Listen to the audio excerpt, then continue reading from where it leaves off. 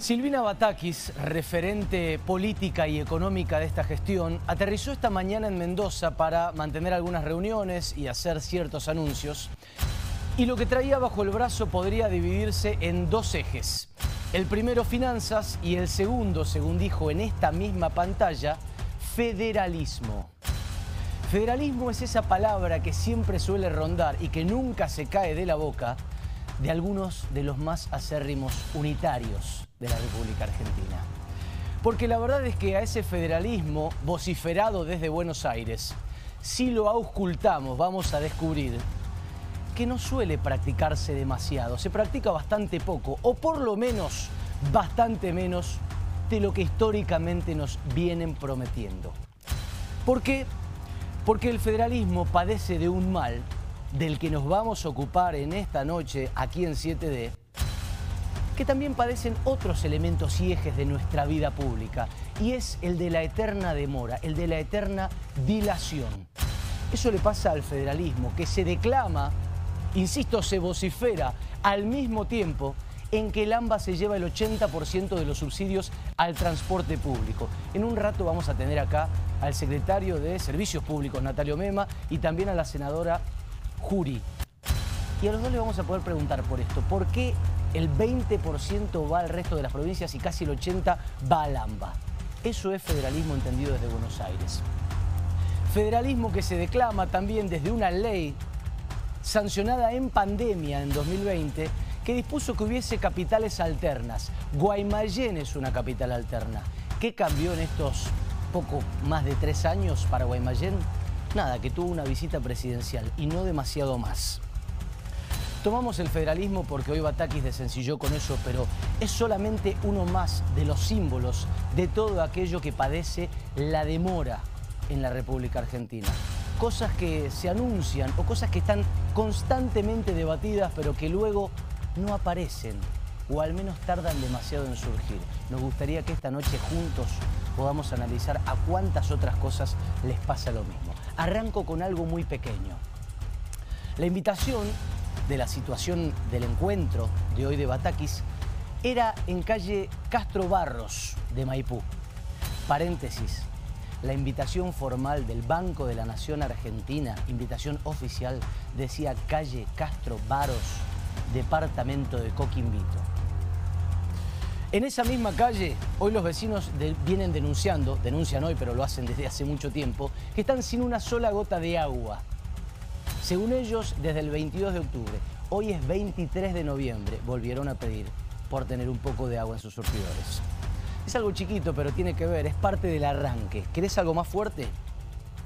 Tarifas.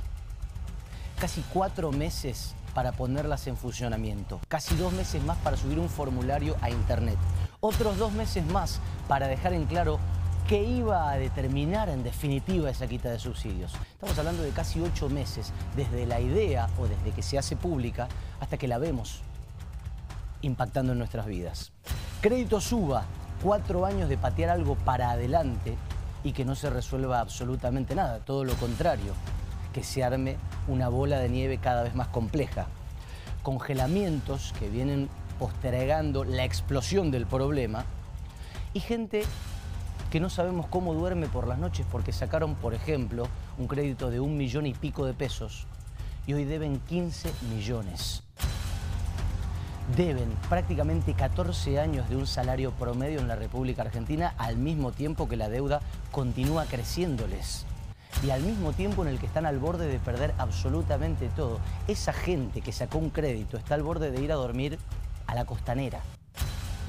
Por ejemplo, Julio Cobos presentó un proyecto en abril de este año. Estamos casi en diciembre y aún no definen cuándo ni cómo se va a tratar, ni siquiera si será ese el proyecto que se trate. Seguimos hablando de viviendas, hablemos de la ley de alquileres. Hace más de un año que todo el espectro político de la Argentina admite que fue un error haberla sancionado. Como dijo hoy Batakis en nuestra pantalla, parece que no entendieran las dinámicas inflacionarias de la Argentina cuando hacen las cosas. Ella se refería a otro tema y solo a Cambiemos. Pero la verdad es que tiene razón, ¿no, Silvina? Evidentemente no entendieron las dinámicas inflacionarias de la Argentina cuando sancionaron esto. Y no solamente Cambiemos, de los dos lados hay que decir que existió el error. ¿Qué cambió en este más de un año desde que admiten que fue una equivocación? Nada. Los ministros, tres en hábitat. Soluciones, cero. ¿Querés algo más grande? Gasoducto Néstor Kirchner. En el año 2019 lo licitó por primera vez Mauricio Macri. Desde que sabemos que está todo ese gas ahí abajo, pasó mucho más tiempo, por supuesto. Se ha postergado tres veces, dos en la gestión de Macri y una durante este gobierno. Vino la guerra, nos obligó a importar casi 10 mil millones de dólares en energía, en un momento en el que la podríamos estar exportando hasta a esa energía y en un contexto de guerra en el cual esa exportación sería hasta con el 100% de su valor. Empezaron a trabajar hace dos semanas, en ese gasoducto del que se habla hace más de cuatro años. El Estado suele creer que hay más tiempo de, del que verdad hay.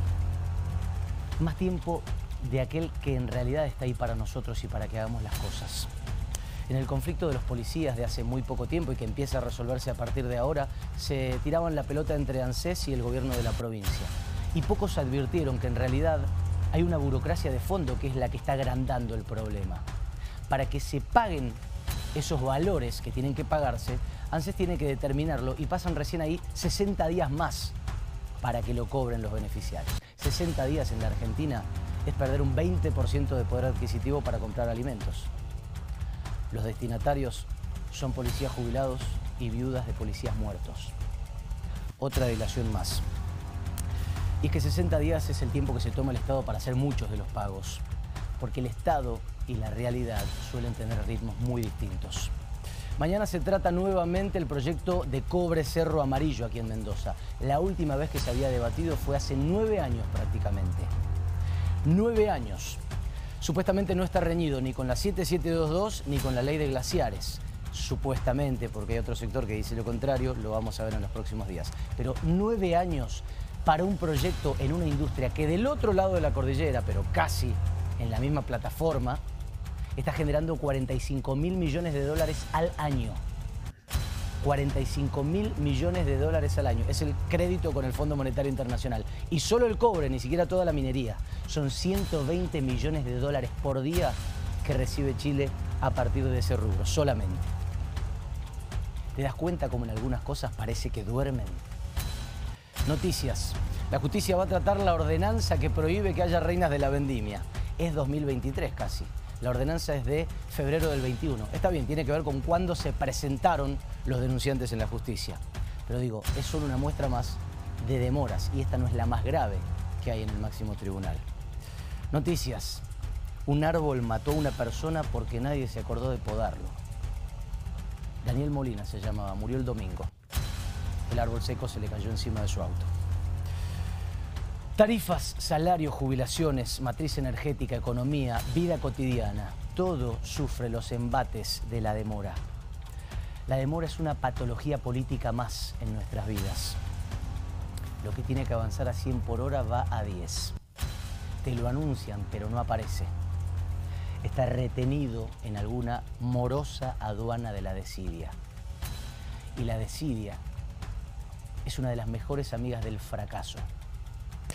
Ya veníamos con un registro mucho más lento del que la realidad nos viene exigiendo, pero desde hace meses la realidad, sobre todo montada en una economía que se desbocó, ha empezado a revolucionar las dinámicas de la Argentina, ha instaurado una nueva dinámica, subió una marcha y nuestras reacciones, o la de que, o mejor dicho, aquellas reacciones de quienes nos rodean, siguen siendo las mismas. Por eso hay cada vez quedando más gente fuera de línea. Por eso hay cada vez más gente que no logra juntar las 140 lucas que la alejan de la pobreza. Cuando te ve lento, la realidad te empieza a dejar en offside. Pero cuando además de lento, la realidad se da cuenta de que la subestimas, se acomoda, se amaca en el área y te clava el 2 a 1. Y perdiste. Esto es 7D, bienvenidos.